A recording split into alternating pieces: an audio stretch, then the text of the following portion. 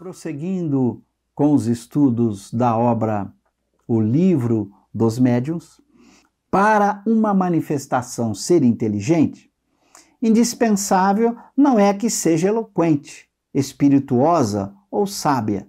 Basta que prove ser um ato livre e voluntário, exprimindo uma intenção ou respondendo a um pensamento.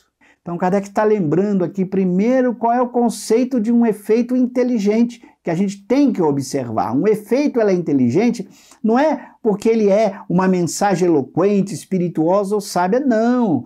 Um efeito inteligente tem, além dessas riquezas que a inteligência propicia, de comunicações sábias, de comunicações eloquentes, tem também algo que demonstra a inteligência de uma forma simples. Por exemplo, o ato ser livre e voluntário não é mais algo mecânico, repetitivo, mas ele é livre, ele é voluntário, ele obedece uma vontade, ele tem o que ele chama uma intenção, ele responde a um pensamento.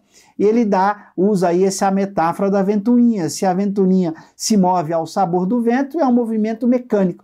Mas se você faz uma pergunta e a ventoinha se move a fim de responder a uma intenção, você manda a ventoinha para a direita, ela vai, pede para ela ir para a esquerda, ela vai, ou seja, se ela obedece a uma intenção, uma vontade, não se trata apenas de um fenômeno mecânico, mas de um fenômeno inteligente. É o que aconteceu exatamente com a mesa. Os movimentos da mesa obedeciam aquilo que as pessoas pediam. Pediam para a mesa ficar numa perna só, para ela dar duas pancadas, para que ela produzisse esse ou aquele ruído, e a mesa produzia ruídos de acordo com uma vontade, com uma intenção, demonstrando então a presença de uma causa inteligente além de uma causa fluídica material.